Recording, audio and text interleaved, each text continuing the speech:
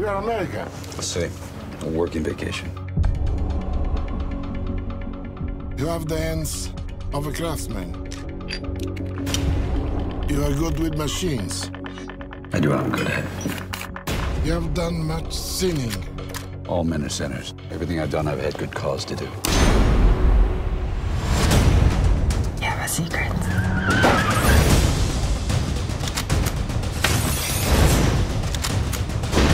A man can be rich if he has God in his heart. George Clooney is the American. I don't think God's very interested in me, Father.